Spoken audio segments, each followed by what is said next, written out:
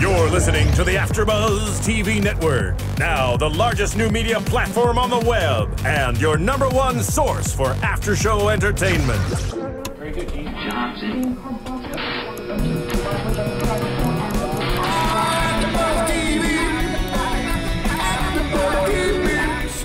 The AfterBuzz Studios in Los Angeles, California, presented by Maria Menounos and streaming live thanks to Akamai Technologies. This is AfterBuzz TV's Orphan Black After Show. We'll break down tonight's episode and get you all the latest news and gossip. And now, another post-game wrap-up show for your favorite TV show. It's AfterBuzz TV's Orphan Black After Show. Hello and welcome to a brand new show here on AfterBuzz. I'm so excited. This has been, I feel like, way too long in the making for us. Uh, this is the Orphan Black AfterBuzz show, and welcome. My name is Nando Velasquez. I'm joined by uh, three other capable uh, people who may or may not be clones. I don't know. Actually, one of them I know is a clone. That would be Matt Lieberman because he's here on way too many shows. I, I can neither confirm nor deny my cloneness, but what up, You, everybody? he, he's on here. like every single AfterBuzz show, so I think he is not all of them, just most. He doesn't do the Kardashians. I, I don't do the Kardashians. Okay, got it. Also, right across from me is the lovely Anna Koppel. On a couple. On a Koppel. But you know what? I get Anna But your a clone, lot, your clone is Anna. and I respond to Anna. So okay. you know, But I will call you Anna from now on. it's cool. Whatever. The New York accent in me sometimes comes out, and the A's come Anna. out. I just, feel Anna. like, I just feel like my parents were like, "How can we make her life complicated? Like, how can Mm-hmm. To be honest with you, some people call me Nando, some people call me Nando. I'm more East Coast. I like Nando. Yeah, you Yeah, know, so it's that's fine. good. Whatever. The more you know. And, wow, and busting that out within two minutes of the show starting? We're, we're teaching people right now. we're teaching people. And, you know, new to AfterBuzz. Yes. And yes, we have a new person here who's new to AfterBuzz. And welcome, Will Link, everybody. Thank you, thank you. A much simpler name, two syllables. Yes. Just I didn't Will mess Link. that one up. Didn't mess it up. Awesome. Congratulations.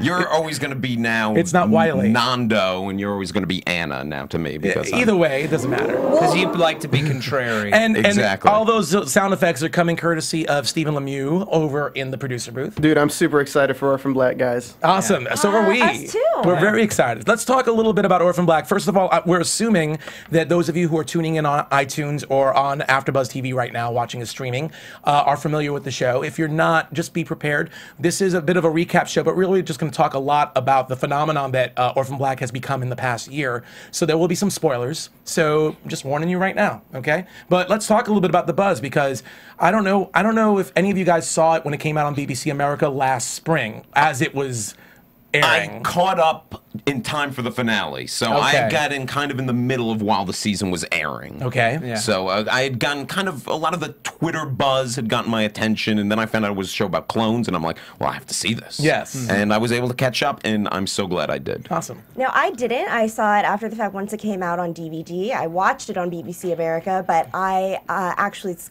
embarrassing, but I'm going to admit it anyway. Um, Lindsay Lohan was was guest hosting for Chelsea Handler's show Chelsea Lately, and uh, she had oh I really need to remember his name right now.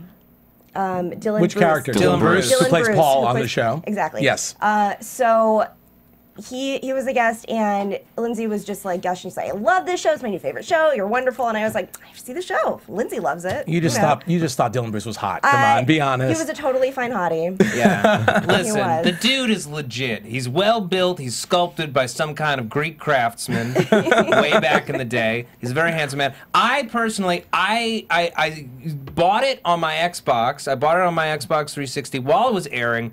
But for whatever reason, the Xbox store only had it in standard definition, and I'm a stupid uh, HD snob. Yeah. And I I to watch it until it came out in HD. And then I watched it all in a day and just was like, oh, this is amazing. I had a similar thing. I actually got uh, a screener of it because back then I was working at G4 at Attack of the Show. Yeah. And they sent me a screener of it just as Attack of the Show was canceled. so I had a lot of other things on my mind and tuning into this show that I didn't know anything about. And then I started hearing about the buzz a little bit, and then I ended up going to Comic Con for another company to interview Tatiana, and I had to catch up. And I realized this was the show I had pretty much sitting on my desk staring and using as a coaster for about five months. Oh, boy. And I That's a ended up great thing to tell the fans. I know, I know. It- It's terrible. It's a terrible thing, but it it just shows you how this show has really snuck in and surprised everybody. And Yeah. uh, I ended up seeing, seeing it in a whole day as well, and just became a, a huge fan. In the last week even so many people have come up to me and been like i'm binge watching it now. I know the new season's starting this weekend. I'm i'm, I'm on top of this Yeah. because they're just seeing the the advertisements and seeing the interviews and everyone's talking about it. Yeah, and, and honestly, I think one of the key factors there is just the incredible performance of Tatiana Maslany, uh, who's who's playing all these different roles. The people that I always hear about the show from are my actor friends who just geek out over her performance because it's it's incredible. she's doing next level work as far as i'm concerned It yeah really, really is is it's stunning, and I, I've never seen anything quite like it. The most I've seen uh, is maybe on say Fringe on Fox, where we have characters playing maybe two versions of themselves, maybe Yeah. three versions in a season, but you know, five or six in one episode. And not just that, it's she's playing characters that are imitating other characters. Yes. So there's just lots of layers to Extra this. levels of complexity. And of course, all of the season one actually earned her a nomination for a Golden Globe. Mm-hmm. So she actually had that. So she definitely has got a lot of kudos. That a lot of people actually thought she was ripped off um, for a Golden Globe that she should have won it. yeah, she was robbed. And I hmm. feel like even I, I, even when the Emmys last year, you were getting a lot more buzz. I feel like the show hit too late for a lot of Emmy voters, but you were getting a lot of buzz right before the nominations. A lot of hashtag Emmy for Maslany. Like the the buzz was building about this slow and steadily until now, where it's just exploded. Well, another interesting thing about it, it's a very hard show based on the pilot, I think, to market because you don't really get the big twist, the clone twist until until episode 2. You don't you don't know what the show is necessarily going to be about. And when I saw the original promos, I'm watching my Doctor Who. I'm like, what is this show about the woman who's got a? eh, I'm like, is this some supernatural thriller where she's like seeing versions of herself everywhere and blah blah blah? You know. And once I found out what the show was, I was far more intrigued. And I feel like now that people have seen it, they can explain it to their friends and they'd be like, wow, that actually is pretty cool. Well, to this day, though, for me, I, it's difficult for me to uh, concisely explain what the show is about. Yeah. Mm-hmm. So- And that's why I think for this show, even though this is, we're calling this a recap show, really this is just a primer. Just for anyone who's an Orphan Black fan, we'll definitely get into a little bit of the plot, but it is a little convoluted. So if you're not aware of the whole show, it little might be a little, it might be a little confusing. But pretty much the premise that actually um, they set up really well in the Cloneversation that aired on BBC, which was the uh, another preview that BBC America did, was uh, a, a cl- you know somebody wakes up, they go to a train station, and they see someone that looks exactly like themselves. Pretty kill themselves, just commit suicide. They walk in front of a train, they leave their ID, their purse, and their jacket, and this person who happens to be a bit of a, a bad egg, let's mm-hmm. say, it's a safe way to say a bad egg a, a Yeah. grifter. a grifter, Yeah. I guess, decides to take this person's identity, trying to see if she can get some money out of it and see what else she can get out of it, and finds out that there's this whole amazing world that she's completely unaware of, where there are lots of people that look exactly like her, and you have all these organizations and this big conspiracy, Yeah. and uh, and it's just played out beautifully. Well, it's the best way, honestly, that I, I've seen to to develop and build a sci-fi series.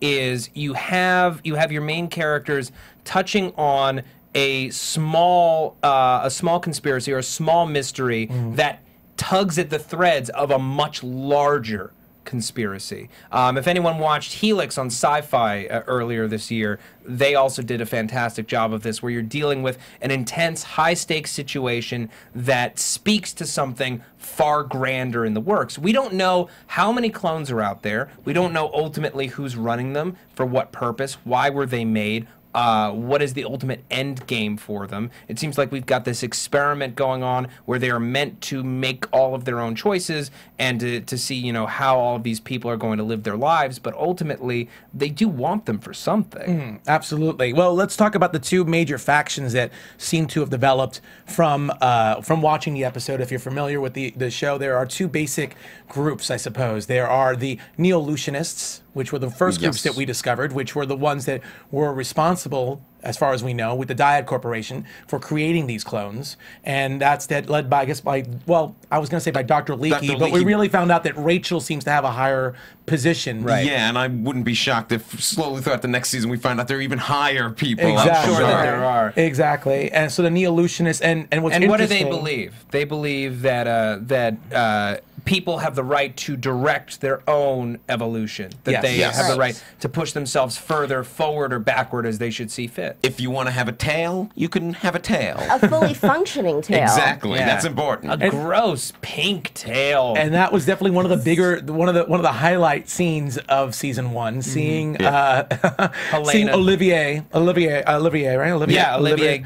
yeah get uh show off his tail and get it cut off and then later, Helena dancing with the tail. my tail my tailbone hurt for like an hour after that Yeah, right. You just feel it. Well, so uh, I think it's important that Cosima is um, connected to to this. She knows Dr. Leekie and her uh, monitor. yeah is and connected- Cosima is one of the clones we'll get into the clones later obviously but Okay. yes no no uh, go ahead I Well, just no, wanted no, to- I just I just wanted to. Yeah. Maybe, yeah. yeah Go because ahead. she's she's uh, dipping her toes into the Dyad Institute. She's been invited to Mm-hmm. research herself. She's been given her entire genome, 100% sequenced, with, however, a few things removed. Uh, that's getting into way too much stuff. But the the point is, everyone's entering this mystery from different places. Yeah. Meanwhile, some uh, other clones, such as Allison, would prefer that just to forget everything and try to have a normal life. Great. Yes. you know. So yeah. So on one side we have the pre, um, the Neolutionists, who Yeah. are are the people who are pro clones, let's say, and they're the biohackers. And and I really am curious to see what other augmentations we might see in season two, if there'll be anybody else doing anything really weird.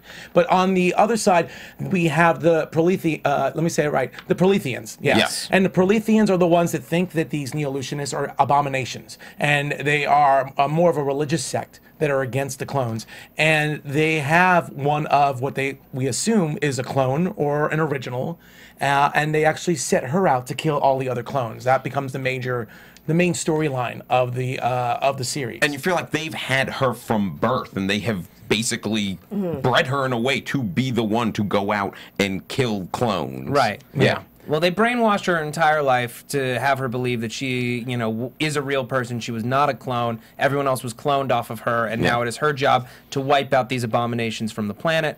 And uh, Helena, to me, is is like the key, the best character on the series. How how she became so endearing and so much fun to watch hmm. is one of the most like unexpected things I think watching the whole thing. Well, there's like a childlike innocence to her at the same time. Like, yes, she will shoot you with a sniper rifle, but look how adorably she eats jello. You know, there's like there's something innocent she about it. She does eat Jello really cool. Yeah. Yes, I do like the way she eats Jello. And she just had so much. She was so vulnerable and just loved Kira instantly so much. And Yeah. just had this gentle side to her. it was a very touching scene. I also, whenever I see her, keep having to remind myself that that's Tatiana. Like that's, yeah, I just am so impressed with her. It, it- it's very impressive, and she plays it. The the, the word that was described by uh, somebody else in the um, in the series was feral. Mm-hmm. Helena is a very feral character, very kind of like Angels and Demons, like that character in Angels and Demons where he whips himself, the way Well, she, they do she the cuts herself, thing, yeah. the same exact thing. So Right, it's like the that kind of wings on her back and- Exactly. So really creepy.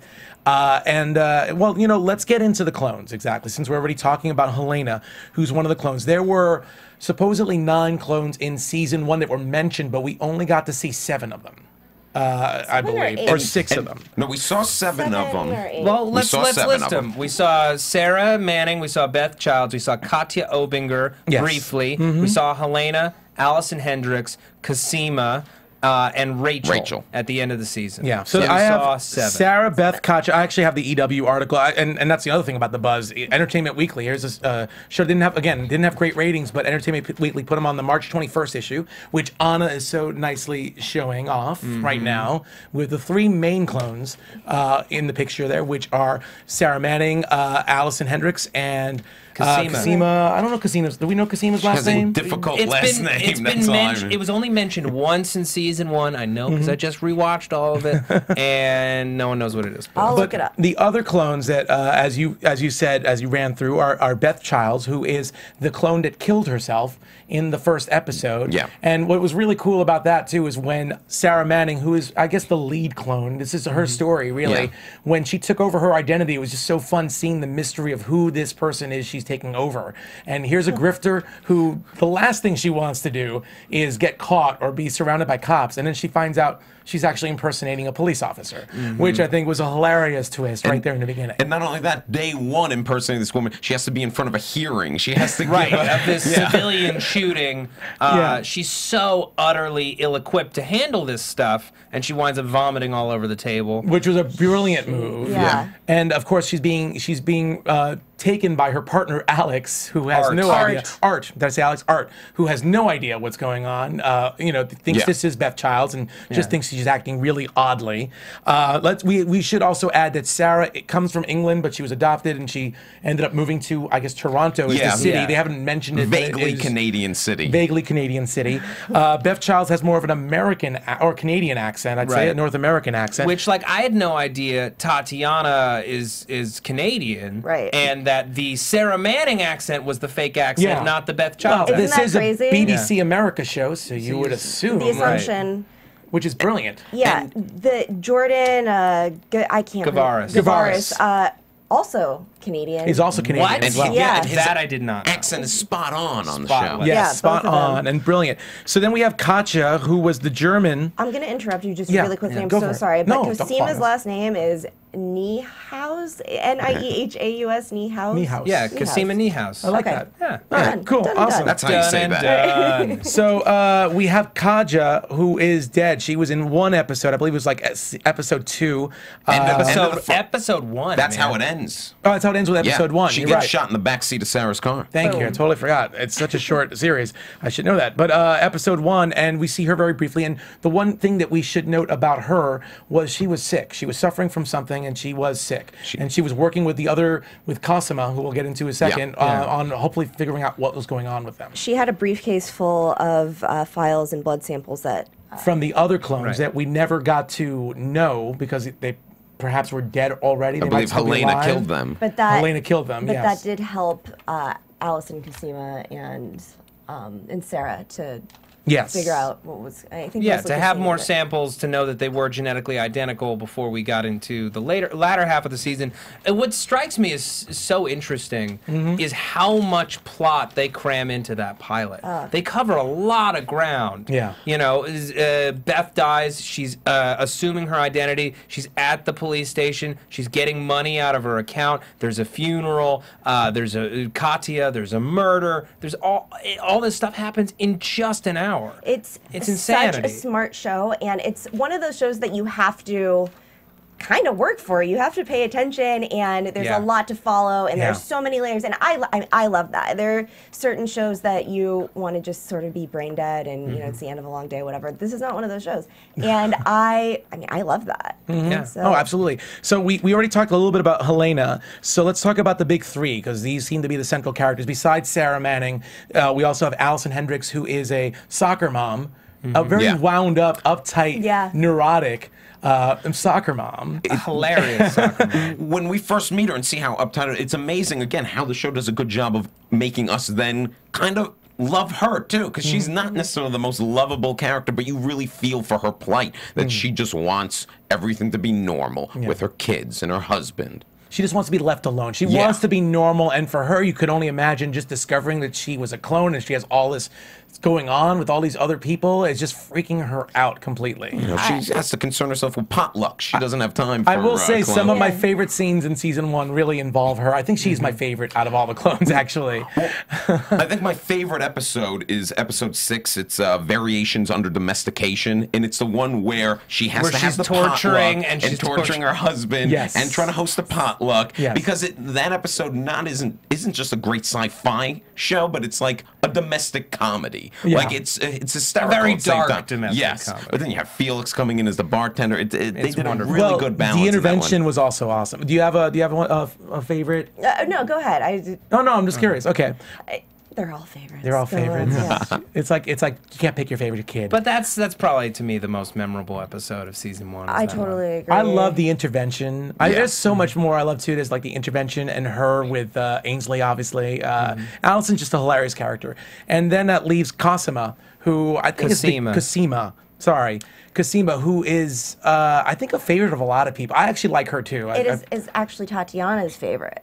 Yes. Because she relates to her the most. absolutely. She's my favorite. She's the she's the smartest. She's you know the most kind of free spirited. She's down to earth, uh, and you know she's she's also she's also kind of lonely. She recognizes that you know that Delphine is is a bad influence. That she's probably ultimately working against her, but it doesn't stop her from wanting a connection. Yeah. I, I totally agree, and I get that. And there is, yeah, just something very sad and lonely about her. Mm-hmm. Uh, really quickly, I, I don't want to get us too off track here, but No. uh, with Delphine, I I feel like she's switched, no, and she's just sort of like in, in we, love now. we can't be sure because honestly, you look at how how trepidatious she was before she got into bed with Cosima, and then she's crying after after sleeping with her, and she lies and says, "Oh, I cry after every time I after every time I have sex," and I'm just like. I don't buy I don't buy the love thing. I don't. I want it to be true mm-hmm. because no clone deserves love more than Cosima. She's earned it. She's not a bad person at all. But that's what I'm saying. Like we love Sarah because she's a rascal, because she gets into stuff, and because she's active, and we want to see her have sex with Paul. Because damn right, take that her man. She didn't Yeah. deserve the hot piece. But Well, here's the thing. yeah. Right? Cosima has done wrong to nobody. She just wants to, you know, learn and and and do great research and do great work. What's wrong with that? And she just wants to be spooned at night. You're Yeah. you're by a By another beautiful, girl, by a beautiful woman, huge, French Swedish, woman. French blonde. Exactly. Yes. You're breaking the hearts of uh, clone beings all over the place. all the uh, Delphine Cosima shippers, or because that is uh, uh, has really become a relationship that a lot of fans have, have Are latched invested onto, in. and, Yeah. and uh, Totally. and and I think that's really been big with the uh, LGBT community. Yes. It has been because uh, both uh, Felix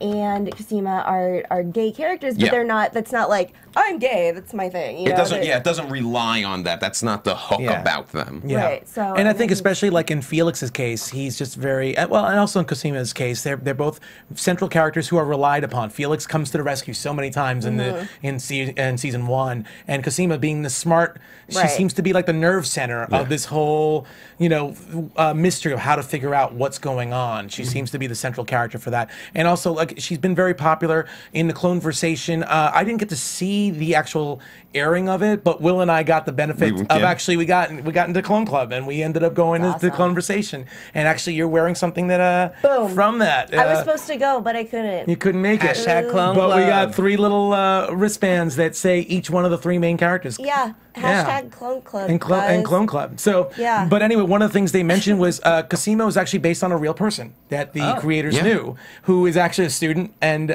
and a scientist, and actually comes over and she talks to she talks about all this stuff over to the cast and to help them figure things out. So and uh, and Wil Wheaton was saying, I don't know if this aired, but Wil Wheaton was saying that he thought it was based on a friend of his, Yeah. Cara Santa Maria, who people might know on the internet, and uh, she used to be on Attack of the Show. Uh, she's a big science nerd uh, expert and does a lot of uh, a lot of stuff. I'm sure you've seen her on Nerdist and some other places. But anyway, let's talk. Since we started talking about it, let's talk about the monitors because behind each clone is a monitor Yes. set to watch over, regulate, Right. report to the uh, to the Dyad Corporation, to Dr. Leekie uh, and, And his Rachel, superiors. and his superior, the Neolutionist. So we talked a little bit about uh, Delphine, but um, yeah. I- She's I feel like before we go into monitors, just Yeah. really quickly, let's mention uh, we talked a little bit about Helena and um, also Rachel. Just, just Oh yes, Rachel. Actually, we, we glossed over Rachel. Apologies our for pro that. clone. which is our pro clone. Right. She is uh, a clone who works for the Dyad Corporation, who 100%, you know, uh, she is self actualized. She knows that she is a clone. She's accepted it. She's part of the machinery of Dyad, and she has access to what is called Topside, which we don't know that much about, but is introduced at the end of the season as, you know, um, w- you accept that you are an artificial life form, and then we give you access to know who you are, why you were created, and you know what the future has in store for your your species, basically. And she seems pretty badass. Yeah, she's Yeah, cold. she's cold. She's cold-blooded. uh, And- on the surface. And Kira is missing, and she might have something to do with it. She sort of said, right. We're not Well, sure, I don't but know it if we seems- specifically said Kira is Sarah's daughter on this show. Yes, but- we haven't brought up that part Right, yet, which okay. is actually we should bring that up before we bring them on. Because I think that's an important piece of the puzzle. That Sarah is the only one of these people who actually has a kid, and What none of the other clones can have children. Beth, Beth, she adopted? Al- Allison has. Allison Or adopted. Allison has children. adopted Allison children, but adopted Beth's children. the, yeah, but Sarah is the only person who is uh, be, only clone who has been able to have a natural born child, um, and part of that may come from how she was conceived. We met her birth mother, Amelia, at the end of season one, and she confesses that when she realized what the you know so-called couple that was trying to that uh, had asked her to be their surrogate wanted, she you know ran away and she had uh, her and Helena in secret. So we have two factors here. We have we know that Dyad was not in control, was not responsible for her birth. Yeah. It was done away from their control. And to our knowledge, she's the only clone who split in the womb and became two people. So we don't know what that has done to them genetically that may be different from all the other clones. and so let's be clear that Sarah and Helena are the ones who are are twins. twins. They're Our twins. are biological. twins, biological yeah. twins and apparently possibly the originals because at least that's what Helena was uh, led to believe that she was the original and all the others were imitations. Right. And and it seems like because Sarah is the only one that's able to give birth to somebody that there's something extra special about her. It seems like Especially considering that that baby has superpowers, super healing powers. super Yeah. healing powers. She's Wolverine. Uh, she just doesn't haven't put, put the claws out yet. Well, since we're talking about the super healing healing powers, Helena at the end of the season is Yes. dead. She's been mm. shot by Sarah. Yeah, Sarah She's shoots her been in the chest. for dead. I assume she's dead. However, if she is also has some of the same DNA as Kira, being her biological aunt. You would assume it was passed down to her. Well, I mean, they were from the same womb, her and Sarah. So you're what what you're positing? Is there a chance that Helena will be making a return next season? She, I'd like to say yeah. I would love if she did. I would like to Sarah see did shoot her and just kind of left her to die. We didn't actually see. and her it wasn't die. like a face shot. It was it was a shot, I guess, in the mid region, but I, I wouldn't be knows? central mass, central, body mass. central body mass. I wouldn't be shocked if come season uh, episode four or five we start hearing that crazy Helena theme That, and that she screech. Yeah. Yeah, I love the Helena thing. Or maybe that's just wishful thinking because I don't want to lose Helena. Keep don't either. wishing, keep wishing, Yeah. Will. Okay, She's great. Yeah. we are wishing Will. So yeah, so that's the big thing about uh, about Kira. Uh, let's get into the monitors now. Unless uh, if we have so Yeah. pretty much everyone uh, is supposed to have a monitor except for Sarah because Sarah somehow slipped by the She went off the grid. She went off the grid. Because of because of Amelia, because Amelia had her in secret. Exactly, and took and, and gave her to the state. And Yeah. gave Helena to the church, uh, as as she said. So we know uh, the, the the main monitor that we're familiar with is Paul, played by Dylan Bruce, because he was uh, boyfriend to Beth Childs. I guess boyfriend. They weren't really married. They were just Yeah. dating Yeah, for guess long so, term. Together. They never really said if he was married or not, but I would just say live together. Right. Uh, so we got to experience him, and the big thing with him, I guess, he's the main monitor Is his because penis. is his penis because we got to see a lot of sex scenes between him and Sarah Manning playing Beth Childs. Yes. and apparently uh, Sarah Manning was a cold fish, Yeah. but. Oh, No, Beth- Beth I'm sorry, Childs. Beth Beth Childs was a cold fish, but Sarah, Sarah Manning, Manning. She takes it seriously. yes, Yeah. very passionate. And everyone was great, And Felix got to see a little bit of that, and he loved that. which is strange. Who doesn't? I just I don't know. Who doesn't? If I Doesn't if, if. I was in the next room and my sister suddenly got sexually not assaulted but uh, approached in an aggressive manner, but they're adopted. I know They're foster. that makes it all foster, better. And- but still. and she wasn't approached in an aggressive manner. She was aggressive. Well, no, she, she, uh, Well, she was covering for. when he was when he was when when Felix was there and he caught them having sex the first time in Beth's townhouse, it was it was Paul coming in being like, you know, what's up with the hot and cold routine? And then he's like, I could be hot and cold too. And he grabs her and then he's like, whatever, I don't need it. I'm out. You know, and then she Yeah. grabs him and then she goes for it. Yeah. Then she goes for the gusto. Yeah. So if you're the brother in the situation, Right. are you fine or no? No, I'm not fine.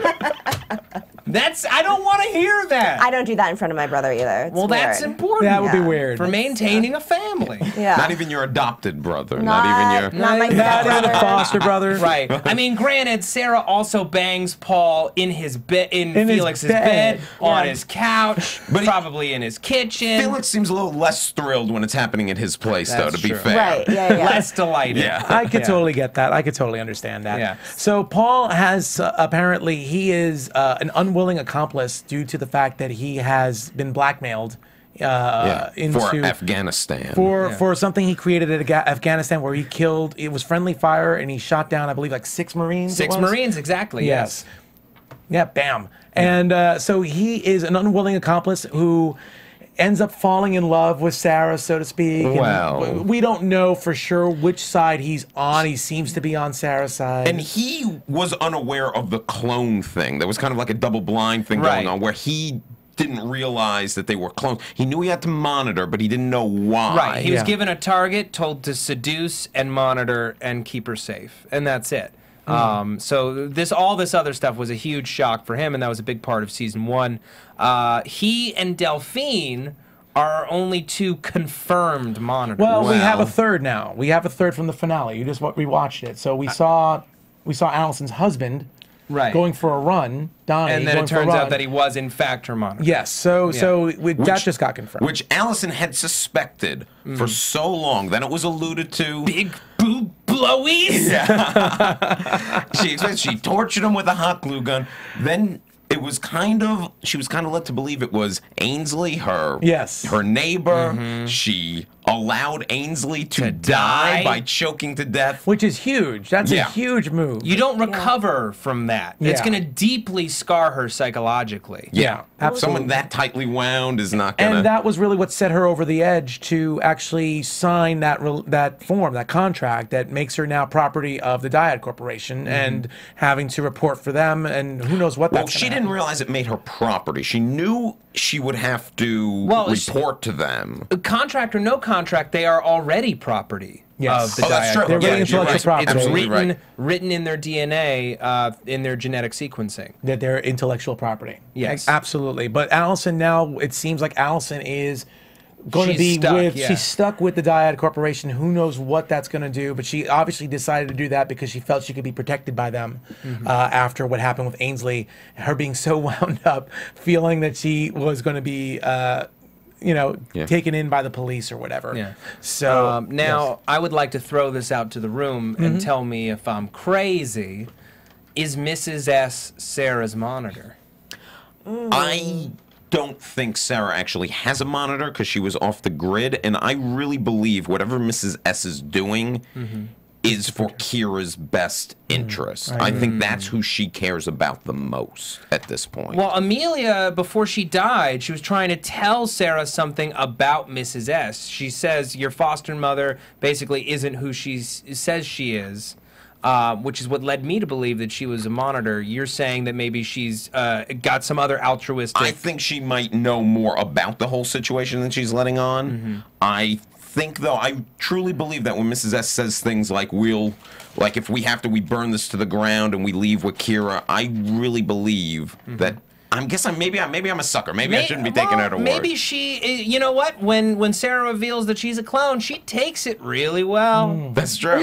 really well. She does. She doesn't need pretty a well. stiff drink. She's like, I'm on board. she might know more, but that doesn't necessarily mean she's bad. Well, I think I got from the conversation, uh, or it could have been the article, I'm not sure, but somewhere I got uh, that season two is really going to explore who Mrs. S is, who she was 20 years ago. I guess she was an activist. Yeah. Uh, so we will have those answers soon. And the Great. Leda, uh, Operation Leda, which is she was in that photo from 1977. I believe it was Leda, L E D A. Yeah, we'll learn more about that. I'm guessing too. Yeah, I think that was in the W article too. Uh, so um, yeah, so Mrs. S is definitely a mystery that we need to figure out. Uh, and we mentioned Don- the th- funny thing about Donnie, I have to say, is Delphine is hot, svelte, she's smart. Paul's built like a you know Adonis, and and there's Donnie, you know, and it's just that I thought it was a really good twist. just- yeah. To, is he or isn't he? No, I- he can't be. It's Aynsley. I'm really interested to learn more about that storyline, just because you know, when Sarah was was saying to Allison, she's like, you know, it's not going to be Donnie. He's your high school sweetheart. You've been married. You Yeah. have kids.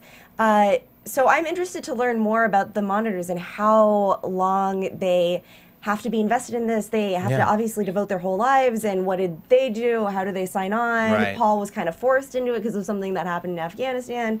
You know, it's, so I'm, I'm interested to learn more about those Well, backstories. the, the answer, the answer of whether of who was Allison's monitor was honestly it was staring all of us in the face. Not just because we had seen Donnie burn all those documents uh, episodes earlier before we had our final reveal, but monitors are not supposed to directly affect any of the decision making made by these clones. They're supposed to have 100% autonomous free will, and Aynsley is constantly meddling.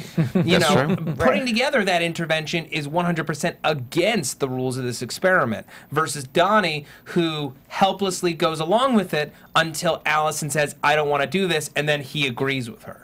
You know, he's he's 100% sticking to the plan. The question is, has Donnie always been her monitor, or at some point was he kind of Was he turned? turned? That's what I'm saying. That's what I'm Yeah. saying. I want to learn about that kind of Yeah, stuff. That'd and be does great. he have something held against him? Which I'm guessing he might not because they were high school sweethearts. I mean, what could you have done? Yeah. Smoke pot like in the bleachers? Right, I'm so- telling on you. You I don't know. go to What? jail for Yeah. so is that the something that, that he was raised in? You know, like uh, uh, Well, can't Delphine, Delphine well, obviously was a scientist with the project as opposed to Paul. And who had a re- personal relationship with Dr. Leekie. Yes. Right. Yeah. Well, Rachel was Yeah. raised by the by the Neolutionists. So I just wonder if Donnie was maybe raised in, in one of these corporations as well from birth. Yeah. Mm-hmm. Uh, but uh, or, or yeah, if he was turned at some point, did he do something terrible? Mm-hmm. I, I We want the- answers. We want answers. We definitely want answers. Let's talk a little bit uh, more, at least, about like the uh, the actors in this because it's really a phenomenal cast. A lot of Canadian actors. Uh, again, a lot of surprises, which I think is amazing. Tatiana, we've already talked about, just phenomenal work. Uh, Kevin Hanchard, who plays Detective Art Bell, Yes. uh, who does you know a great job. Really, really interesting character. We talked a little bit about Dylan Bruce. Um, he was on the Cloneversation as well. Jordan Gaver- uh, Gavaris. Uh, who is just phenomenal as Fel- Felix. You know, and watching the show, doing a rewatch, because you're so distracted by the brilliance of Tatiana that when you when I'm watching it second time, I was paying so much more attention to the brilliant work he's doing. Yeah. And I've already read some early reviews of the new season that says he really sh- they really let him shine this season. So I'm excited to see where it goes. And It's I a force of nature. Yeah, he's a force of nature. And he, again, if you've watched a Cloneversation, you got to see these uh, actors in real life. You'd be really surprised to see how totally different Jordan is Yeah. from Felix. It's, Yeah. it's really amazing and I gotta really watch awesome. Cloneversation. Yeah, you're gonna have to watch that. and uh, Jordan and Tatiana are like incredibly close in real life. So Yeah. I, I think that's uh, it, and it shows up. It shows up. You can definitely see the chemistry on on film. They talked a lot about the audition process and the fact that they had a final three uh, Tatianas and a final three Jordans, uh, not Jordans, Felixes, and that they had them interact with each other. And out of all the pairings, those two bonded from the start. In fact, uh, Jordan mentioned that he got to rehearse with the other two right, and people. did not with and yet he had this amazing, amazing um, They kind of- relation connection with them. Also, just to tell, uh, Jordan also actually won a Gemini Award, uh, a Canadian Screen Award for um, best performance by an actor in a featured supporting role for Oh, wow. Orphan Black. So not Really not a major, not not an American award, but a Canadian award, but still phenomenal, getting recognized Mm-hmm. already. And who knows what will happen in season two? One of my favorite quotes of the whole season is, "Fetch me something gay." Um, just like just do that uh, so detached- well. Uh, well, thank you. you did that so well. One I of my love one of my many talents is being flamboyantly gay and British. And then also some other actors. Ooh, my thing just went off. Maria Doyle Kenny. Uh, She's Mrs. S. Yes, Mrs. S. Skyler Wexler playing Kira. Uh, Inga Cadranel, who is Detective DeAngelis, Detective Angelus, and uh, Angela DeAngelis. That's her Detective name. Angela Angela. DeAngelis. Sorry, I'm just I'm just saw the abbreviation there. And uh, Michael Mando, uh, Vic, Vic the Dick, Oh, Vic the Dick. Vic the Dick. Oh, Vic the Dick. Poor Vic the Dick. I think he's great. Yeah, he was hilarious. He's Yeah, definitely he was. hilarious. fun. I wonder if he's even if he's done, if his story's done. He's not in any of the promo footage I've seen. No, he's so- not. So it'll be interesting to see about him. But again, phenomenal actors. Although the majority of the cast is one person. Yeah. And yeah, I mean, you you have something on that, Well, right? yeah, Anna? I I mean, it says that uh, you know, this next season too, uh, we're going to be seeing a lot more other characters Mm-hmm. um, because I, it's difficult. Not only on Tatiana to be, you know, like 99% of, of what's going on in each scene, um, but also if you want to talk, I don't remember the name of the camera. It's difficult for them to shoot. It is really Right. time consuming. Yeah. And what is the name? Do you know the, the name of the camera is the Techno Dolly. That's Yeah. what they called it. so yes. they have the Techno Dolly, and they also have uh, Kathryn Alexandre, who is uh, Tatiana Maslany's uh, body double. Mm-hmm. So they uh, they have to shoot the scene over and over and Oh, over boy. again. several times and it's flawless the way i mean if you think about like other tv shows and movies in the past that they'd had one actor playing two roles and you have that you have the double like the you know somebody's back is facing you and you you're supposed to assume it's the same actor and then you see the person's front Right. or you see a split screen like all these crazy ones i mean sarah michelle gellar had that one tv show a couple of years Ringer. ago Ringer. The ringer yeah exactly which was terrible and actually look the effects weren't that great either considering Right. it was broadcast tv I But mean, on this show, it's pretty flawless. Yeah. And, and for those of It you who don't know what a techno dolly or a techno crane are, uh, they are they're specialized camera rigs that are controlled by a computer. So once you program in a movement, you can repeat it the exact same way Mm-hmm. an infinite number of times. It was pioneered uh, way back in 1976 when they were making Star Wars for 1977. Look at you. Um, yeah, I'm like this guy's a genius. I, tell me more matt lieberman Well, no, I read I read a whole lot, but it's the only way to ensure, and, and it's used on a lot of productions that are that are mapping CG over over live action, or where you're doing live action multiple times. It's the only way to be absolutely sure that the camera move is exactly the same. But again, that- like you mentioned, there it is. Second time we've got that this show. we're gonna keep. We're gonna go for three. We're gonna go for three. This is uh, well, you know, based on the past, it's been done a lot more for feature movies. So it's amazing to see it applied on a show like this because uh, this, this show does not seem like it has a major, major budget. Right. So uh, it is fascinating, and so far the most that we've seen in one scene, in one shot, is three clones. We've Yeah. seen the main three. So I'm really curious to see how many more they can possibly load in. If we can load in four or five, so that'll be one interesting A thing. fleet, Well- a fleet of clones. The more clones, the better. Just Yes. for fun, Kathryn Alexandre, again, who plays her body double, um, will actually be making a cameo on episode nine of season two. So look out for her and herself? her face. Oh, I'm not really sure. It just says that look for her cameo and her face for once. There also that's are because of the celebrities that have really gotten involved in this. Patton Oswalt was a very big proponent, tweeting to everybody about how awesome the show was. Uh, Orlando Jones f- was also in the Clone Yeah, he was Conversation. there. He was a big fan, and I'm sure you have a couple other names Yeah, there. Patrick J. Adams uh, from Suits uh, will guest star in season 2 Mm-hmm. and also um, all of the cast of Parks and Recs were, are a big fan of the show, and so they and Tatiana have- was on Parks and Rec. Yeah, right? they had her come on for a story arc. That's so awesome. That was cool. really cool. I missed that. I have to catch that. We'll have to look for it. We'll have to look for that one. That Yeah, she was uh, awesome. dating Tom. And they Oh, actually so, do yeah. have some some some of those people. Some people are actually going to guest star. Not those people in particular, but they do have some guest stars who have appeared on other TV shows. So you might recognize a few faces in season two. Uh, I don't have the article in front of me, so I don't. I didn't write down the names. But if you one, find them, One I'm excited about is Michelle Forbes. that's From it. The Killing. Yeah, and and uh, and back in the Battlestar day- Galactica. and even Star Trek Next Generation. She was uh, Ensign Ro Laren. Mm-hmm. So uh, she's got a lot of geek cred already. So you pronounce this? Somebody from Nashville. oh, uh, Michel Hi- Hisuman. That's boy. not how you say his name. However, I believe this guy is also on Game of Thrones. Ooh. He's pr- playing another character whose name I can't pronounce. right. anyway, so you know, new characters. Lots of new, new faces. Lots of new characters, bigger, uh, better. Now, I've heard tales of a new love interest for our dear Sarah this season I by the name of Cal. I yeah, believe- and that's who it is. The guy Okay. from Nashville. who Okay. we can't pronounce We his can't name. pronounce We can't his name. pronounce the We're name. very sorry. But we will have by the time Cal shows up on season 2 We're we gonna will get have it. it down. We will have Right. it down. and we will be back next. This is a Monday. Yeah, this and is we'll a have it. this is a little primer for us too. Yes, Now, the other definitely. rumor, the other rumor is Yes. that there is a new clone, and her name is Jennifer. Yes, and that was uh, mentioned in, in the EW article, I believe, too. She's another soccer mom. Oh no, swim coach, I Swim believe. coach, teacher, and the the thing that's interesting about her, is she also has some health issues that are similar to Katja's. and Cosima's. Cosima's. Because what we haven't yes. mentioned is Cosima is suffering from the same respiratory illness that Katja had at the beginning of the season. I like to call it uh, clomberculosis. Oh, that's cool. I like that's pretty that. good. Tuberculosis. That's not, what I'm going not with. tuberculosis. We have to Tomato, see tomato. What the people like. You say tomato, I say tomato. You know. Hashtag tuberculosis. Clomberculosis. I think clonberculosis is easier to spell though, because you have clone right up front. nope, it's exactly the same. T U B E R C L O N E Well, you S know- I S. Tuberculosis. Either way, Jennifer, the new clone, seems to be having a bad time with it. Sure.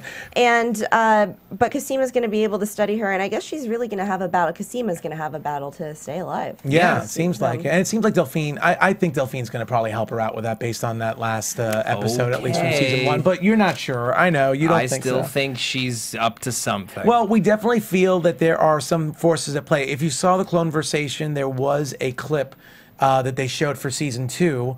Um, minor spoiler alert if you don't want to know about it. Do you want to know about it? I want to know. I Okay. definitely want to know. It seems like there was a prior relationship with Paul and Rachel. There's a scene with both of them where it seems like there was a prior relationship. I feel Wait a second. How is that possible? I know. He had no idea that there were clones. Was it a prior Hmm. relationship, or is it that now he's taking orders from her? It might be taking orders, but there definitely seems to be something going on there. Either There way, was- that's the guy I don't, who I don't trust. I don't Maybe trust it's Paul a for current. a second. definitely don't trust Paul. maybe it's a current relationship. maybe it's a current relationship, Yeah. but That makes definitely more sense. something Way going more. on. Yeah. I felt like there was wrong chemistry between them for Hmm. sure. with Rachel and uh, yes, and Paul. Well, how trippy must that be, right? You you were with a woman, you were her partner for years and years and years, and you weren't in love with her. Then all of a sudden, she just changes on a dime, and you fall in love with her with her imposter. And now you've uh, you've been involved with and slept with two women who are genetically the same. And then you meet a third woman, also genetically the same, and then you wind up having a relationship with her, Well- and that's completely different again. Got it. So you know it's really funny because some people can't like That just sleep with can't just sleep with one person. They just want to sleep with more than one. He likes to sleep with the same person but multiple, Multiple versions of that person. The more you know. There it is. The more you Nailed know. it. Right. So pretty much, I think we we've nailed a lot of the major points from season one, and just the buzz and uh, just how major it is. Uh, we didn't talk much about Comic Con, but it was a phenomenal panel at Comic Con. Lots of people dressed in cosplay. Just uh, really awesome stuff. Let's talk about Mostly female fan base. and mostly female. Like we said, uh, the the gay and lesbian uh, fan base as well. A lot more girls. Cloneversation was like we were like the only We- guys there were there. very few guys Very there. few guys. Well, it's But just- they were. It's such a strong female show. It's a so- Mm-hmm. strong female character. All of them are fully and realized. yeah, and it's just it's such a strong drama, a strong sci-fi drama, and it's rare to find a strong sci-fi drama that is so heavily female driven, um, but also isn't pigeonholing itself as like a drama for women. It's not. Yeah, Yeah. You know. absolutely. Right. And then, uh, so let's talk about what are the big questions that we want that we that we were left off of in season one. I, I feel that we touched upon a couple of them really quickly, uh, like the role of Mrs. S. Who is Yeah. Mrs. S. exactly? What is what is she all about? Also, uh, well, who took Kira, and what is it with this super healing? I the super healing. I have no clue yet. But Mrs. S. I still think Mrs. S. has Kira somewhere. okay. okay. That's my prediction. Okay. Well, Um, uh, what else I, do you got? I'm just saying we get back to the we get back to the house when she's looking for Kira and Mrs. S and they're gone. Kira's window's open. She could have been snatched. She could have been by Rachel. Who knows? I mean, that's what we're going to That's be what led we're to believe. assuming. What else do we have? Uh, uh, definitely Thomas. Tomas is still alive. He was locked up in a cage. He was a minor character. I don't know if he'll come back or if he'll be From somebody Pro- else from the Proletheans. Well, there is a new character. who is uh, more in charge. It seems like a superior to the Henrik Proletheans. Johansson, I believe his name is the Yes. character's name is going to be, and he's seems to be the one of the heads of the Proletheans, Mm-hmm. and we're Okay. going to see him this season. Yeah. So we're going to get more of a science and religion war. Yeah. seems. Okay. Yeah, uh, I'm interested to see the change in Al. I mean, there has to be a big change in Allison I think with, that's with huge. Aynsley's death and just you know figuring out about Donnie. Maybe it, it- you know, I just really feel like there's going to be a major shift in her personality. I mean, if you think about it, really, I mean, with everything that Sarah's done, we don't know if Helena's dead or not. But if Helena's not dead, Allison's the only one who's kind of killed somebody, and, and and out of all of them, she's the most wound up. I mean, she knows how to Right. shoot a gun, but she's never really had to kill anyone. I don't think. Yeah. And uh, first of all, and please, the more you know. Never wear a scarf when you're around a garbage dispenser. Just never wear one. There. Disposal. A garbage Disposal. dispenser, Oh, dispenser. is just a useless device. yeah, it's garbage Tossing disposal. garbage I need a it's pound of garbage. It's eleven something on Tuesday it's night. a late recording. it's a late recording. I messed why up a did you get things. this? It just keeps putting garbage in the living room. Listen, I wanted a fancy kitchen with fancy devices. If you don't like my garbage This dispenser, you can get out. Oh, exactly. What is exactly. this oatmeal? Oh. Yeah, so definitely a lot of questions. Is there anything that we missed out? on? Another storyline that people, because I guess it's not Yeah. the sexiest storyline of all, but Art's storyline. Yes. Because hmm. Art is kind of like what hmm. we would be in this show. We're trying he's to put just pieces stumbling together. onto it. Yeah, he only knows a very little, and yeah, he only finds it out towards the end. Sarah's about to confess everything to him because she kind of trusts him, but then the lawyers come in and take her away, and he's left with a lot of questions. I feel like he's could be our way into a lot of the answers that we get. And there's still like a that. mystery with him. There's still something. There's something about Right, him and his relationship dirty. with Beth that might be dirty or something. Well, he cover he helped cover up the uh, Maggie The Chen. Maggie Chen, shooting. but there might be something she more. also had something on him. Yeah. That's what what's assumed. Angela even calls him on it. Did Beth have something on you? was it just a cover up though? Of No, that? it's not just that. There's something that he did that is, you know, not necessarily just as bad, but he's not the cleanest Yeah. cop necessarily in the world. Something happened to him in his past. We need to know what's going on with the uh, with the respiratory disease and and you know why is it affecting the clones? How many clones is it affecting? Is everyone at risk? Who in, is in charge of the Neolutionists? Who uh, made these clones? Why were they made? And is Sarah or are Sarah and um, are Sarah and Helena the originals? Yes. Is that, or is there an original? Absolutely. Well, definitely a lot to look forward to to try Yeah. and figure out. So, uh, yes. I, I just really want to go. Are you? I'm sorry. Are you wrapping up here? I want to just drop one. You drop one thing. Okay, so it's actually we have a lot to look forward to. But uh, back to the origin. Um, I just think it's interesting. You know, director and producer John Fawcett. Uh, am I saying that right? Fawcett. Yes. Uh, he. You know, went to Graeme Manson, who's also the executive producer, and he really didn't have an idea. He went to him and said, you know, I have a great idea for an opening scene, which was a great opening scene. I think we can all agree. Uh, and and and that was pretty much it. And they talked about it being a movie. Uh, and that you know they couldn't really quite figure out how to do this in two and a half hours, so they just shelved the idea. I think in 2003. Yes. And uh, and then um, John Fawcett was going to go to pitch another TV show, and it kind of came to him, and he called up Graeme, and he was like, "What do you think about this being a TV show?" Hmm. It's like, "Yes," and uh, and so they wrote the pilot, and I just think that was interesting. No, it's It is. incredibly interesting. Again, just coming from a, a, a movie, I don't, I, don't, I don't think that's the first time a show has done that, where it had a movie premise and they decided to turn it into a TV show and it had a successful run. I'm trying to think of another one off the top of my head. Uh, we'll, we'll figure it out and mention next week. But it is phenomenal. I'm really grateful that they did that because obviously, look at all the twists and turns in this. Look how interesting this is. And I think if it was just a two hour movie, I really think it wouldn't be, be they wouldn't stale. be able to put as much in there. I don't you think wouldn't have as as many many clones. Layers. Yeah. Probably Right. not as many clones. Not as many clones, exactly. So, uh, yeah. So let's let's start wrapping this thing up. Let's actually go come up with predictions. What do you think for season two? And now, your AfterBuzz TV predictions. So, who would like to start it off? Anyone have an idea? Uh, I'll throw some some bold thoughts out there. Okay, awesome. All right, Mrs. S. i- either is her monitor or was a member of Dyad at some point who splintered off Mm-hmm. and started doing her own thing, found Sarah and raised her, knowing that this moment was always coming. Kira uh, has all of these super healing powers.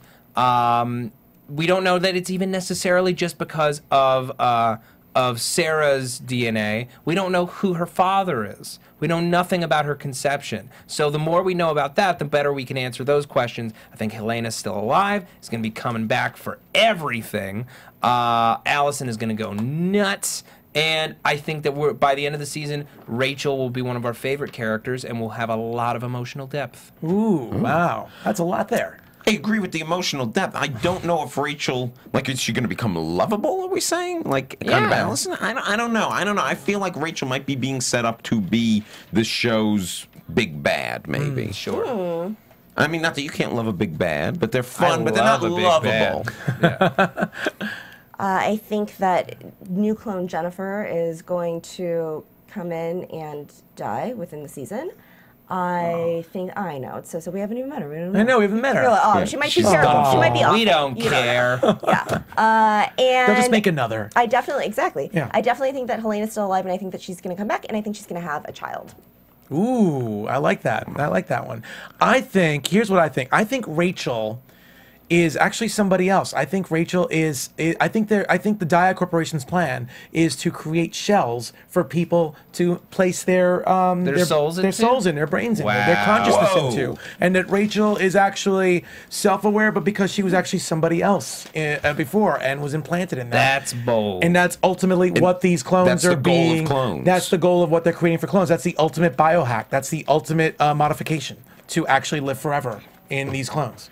And I think that uh, that Sarah is not the only clone. There was probably an earlier version, and we might end up seeing another character, maybe someone we know already, as a clone. So uh, we might Like actually another see that. Felix, or n- Like not a- necessarily Felix, not but necessarily another. Felix, but another person. I'm not sure who. I would say Another Leekie. Another, yeah, maybe another Yeah, Leekie. you never something. know. Maybe another a, a test subject. Leekie's the sort. kind of guy who I could see cloning himself. Yeah. He's arrogant like enough. type. And I think that Allison, this is gonna be a shocker. I think Allison is going to. I think Rachel's gonna be the big villain for sure, but I think Allison's gonna be the big. Uh, I think she's also gonna be a villain. She's gonna be like the second villain. She's going to turn. She's She's gonna, gonna lose turn. it. She's gonna lose it because of what she did at the end of season one, and the fact that she works for the Dyad Corporation. want Technically, that. now Yeah, she's they're gonna have something over her They're gonna have something over Paul, her, yeah. Mm-hmm. and she's gonna be the big. She's gonna be the big lackey that goes out there and causes havoc. That's what I think. I like she that. goes. She to protect her family. I'm gonna with say Dyad. it's inadvertent. I'm gonna say that she gets forced into it.